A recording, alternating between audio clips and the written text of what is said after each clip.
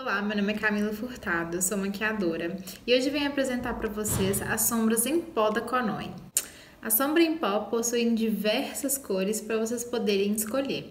Elas possuem um acabamento mate ou brilhante. Hoje eu escolhi esse tom de dourado aqui para poder iluminar os olhos e agora eu vou mostrar para vocês como eu faço a aplicação.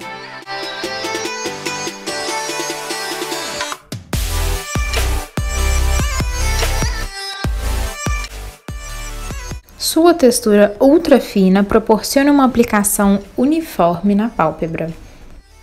As sombras em pó brilhantes dão um toque especial na maquiagem, transformando qualquer look. Lembrando que existem diversas cores disponíveis no site da Conoi para você misturar e combinar fazendo maquiagens incríveis. Um beijo e até a próxima!